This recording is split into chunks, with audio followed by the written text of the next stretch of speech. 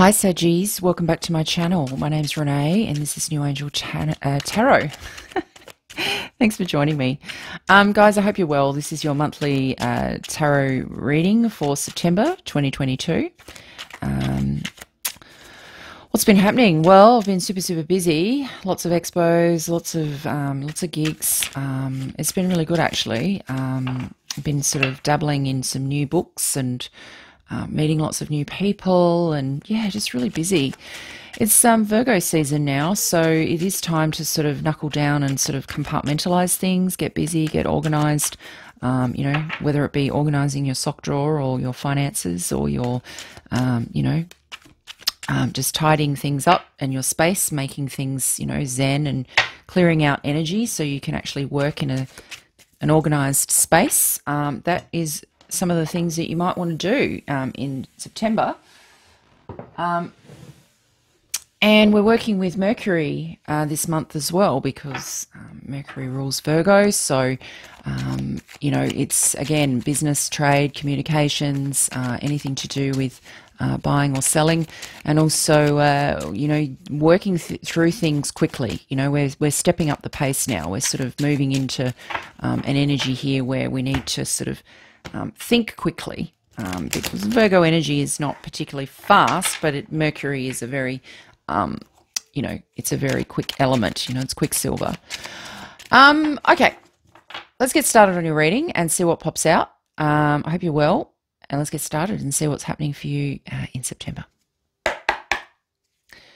Angel spirits guides, angel spirits guides. What does Sagittarius need to know for the month of September?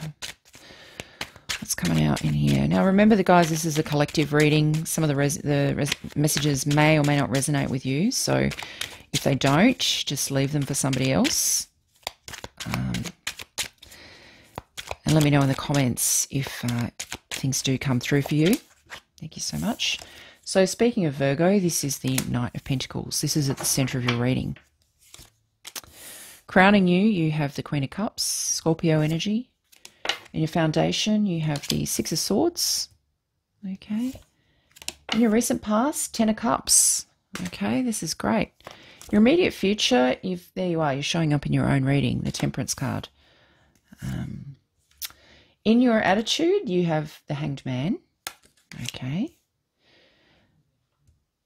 In your environment, you have the Justice card. And Wow, in your attitude, you have the King of uh, Coins or King of Pentacles.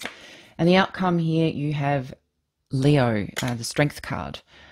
Bottom of the deck, Five of Wands. And clarifying that as your overarching energy, you have the Two of Swords. Okay. I was going to close that and they said no. So I'm like, sorry.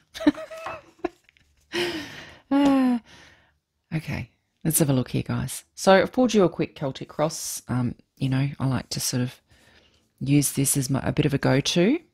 It's an oldie but a goodie. Um, I think it covers, you know, a lot for what this sort of video uh, should in terms of serving a, a purpose. Okay, let's have a look here. Now, I'm just feeling like overall, even just looking at this at a glance before I start walking it through card by card, there's an energy here of patience. There's an energy here of surrender. There's an energy here of, you know, slow and steady wins the race. Um, but also lots of um, sort of undercurrent as well. It's almost like not treading water, but just being receptive this month. I feel like this, even though you're a fire sign, there is an energy here of um, just allow just allow things to happen. You know, things will sort of the, the cards will fall how they fall, literally. Um, but it is about sort of not being the aggressor this month. It is sort of allowing things to just sort of not float, but just sort of oh, how, how, how should I describe it? It's sort of I'm I'm seeing I'm getting an energy. It's kind of like um, it's almost like there, you know, when you see those orbs in in sort of ghost photos and things like that as well. It's sort of like you're suspended in time, but you're still sort of there. You're kind of floating around, but you you're only seen when people want to see you, and you can sort of duck out of the room and, and nobody will notice, if, if you know what I mean. You're sort of incognito a little bit this month. That's probably the word I'm looking for.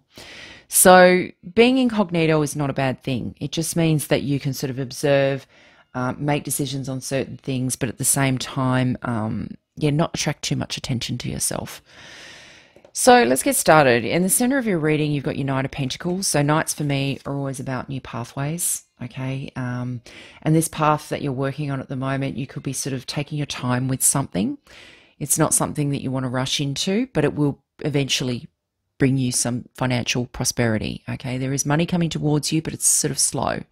It's not, um, it's not a race. Okay. So this is sort of you in the center, just being patient, basically, just waiting for the for your ships to come in here. In your crowning position, you've got the Queen of Cups. This is Scorpio energy. Um, but this is also, you know, you're attracting um, a lot of people at the moment who need your help, who need your sort of emotional counsel in a way. Um, Scorpio energy is always the shoulder to cry on, and people who come to this this Queen of Cups is also, people who share information about themselves that, you know, in other words, could be quite private, but for some reason they feel compelled to share this information with you as well. And, you know, this can be a blessing and a curse. You know, sometimes if someone tells you something, you're like, oh, wish, wish you didn't tell me that. Now I can't unhear it. But also at the same time, um, you're obviously hearing it and experiencing that for a reason. In your uh, foundation card here, you've got the um, Six of Swords. Now, I feel for a lot of you, you are moving into a much better place in terms of your mental health. Um, you know, if you want to sort of use layman's terms, this is kind of like smooth sailing now. You're coming out of like a five of swords energy and moving into the six. But this, you know, this energy here of sort of being patient with your finances and also being sort of the emotional sort of counsel for others, especially when it comes to dark secrets or anything to do with the occult or anything like that. This is a rite of passage for you. You know, this is sort of what you were, why you are here, why you are still here with us. Um, so that's really important. In your recent past, you have the Ten of Cups, uh, which is the sort of the pot of gold at the end of the rainbow. I think you've sort of hit, you've been you've been wanting something for a very long time to sort of be fully, fully, fully realised. Um, and there's been something that's occurred here where you've just finally said, "Yes, I made it," you know, and it's really brought you uh, an immense sense of joy. Um, and that's just something that's come through recently. In your immediate future, here you are with your temperance. Um, you know, you are an earth angel. People do come to you with uh, for healing, but this now is also about um, a bit of a restoration process. You know, coming up, you're also going to be using this time while you're waiting in the center here for you know things that are in the works, perhaps that are um, you're, you're just moving very, very slowly on and taking your time with. And as I said, you're creating, in the process as well, you're creating spiritual alchemy. You know, you're working with the divine, keeping one foot on the ground and one foot in the water, you know, keeping yourself uh, motivated and, you know, on the, on planet Earth, but also still spiritual, still soulful, still creative, still receptive. Uh, this is you in the querent position. Hanged Man is about a new perspective, but it's also about surrendering, allowing, you know, allowing grace to come in, having a, a moment here where you sort of realize, okay, now I get it. Now I understand X, Y, Z, whatever that applies to in your life. Because as I said, this is a collective reading, and I'm just picking up on whatever's coming through here intuitively, psychically, um, and based on, you know, the I'm using the large, you may have noticed in the background over there, I'm using my large Rider-Waite tarot in the major arcana for each sun sign this month um, as a bit of a talisman. So I'm sort of uh, sensing here again that you are, um, you know, you are starting to see things a bit differently. Um, but also I feel this is amazing in your environment here. There's justice coming through for you. Okay, these things are going to be restored here. And, you know, money is also coming towards your way as well. You know, um, this is your attitude. You want to be the best. You want to be CEO. Capricorn energy is the top of the chain. Capricorn energy is, you know, long term financial investment or a long time waiting, a long time for something here that's going to bring you, um, you know, it's going to see you through until the rest of your days. It's going to sort of set you up for life, um, which is amazing. Um, it's beautiful energy um, through this side of the reading. Um, and then your final card here is the Leo card, which is inner strength, inner wisdom, digging deep, and the ability to rise above it all rise above a situation, rise above um, anything petty. Um, and I am going to sort of mention that because you've got your overarching energy here over here, which is the Five of Wands, clarified by the Two of Swords. Now, your Five of Wands here is your overarching energy, and I've got the clarifier there. So, sort of what I'm picking up here, you know, the fives are always about Mars energy. Um, you know, petty arguments, conflict. You know, Mars is going to be in Gemini between now and the end of uh, uh, March next year. So between now and the end of March next year, we're we're going to be constantly confronted with, you know, people who push our buttons and and test us, and you know, it is challenging. But at the same time, you're also trying to actually do quite a few things here.